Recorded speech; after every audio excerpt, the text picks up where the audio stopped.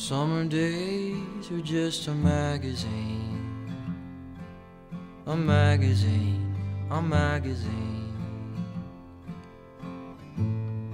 Cutting grass for gasoline. For gasoline, so I can see it soon.